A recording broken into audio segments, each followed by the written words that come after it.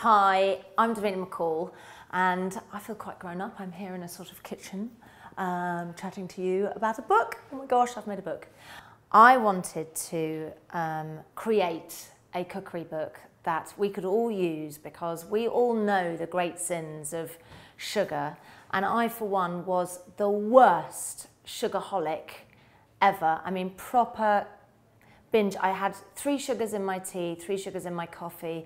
I had at least um, five or six cups of tea and maybe four or five cups of coffee a day.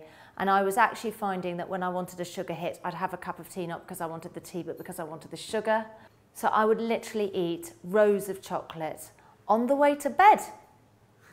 Talk me through that. I'd be, I'd be raiding the children's sweetie drawers in their room and then they'd like move the sweets and then I'd be going to raid another. I mean, it was horrible. So I thought, how am I going to deal with this? And I dealt with it um, as I do with lots of things and I tried to go cold turkey. But anyway, I wanted to make a book um, to help you and to help me get off it again. So what we've done is find dishes that are really family friendly, dishes that you can dish up for your children and for your husband. Everybody's happy and preferably, as you'll see from a lot of the recipes, in one pot. Less washing. Amazing.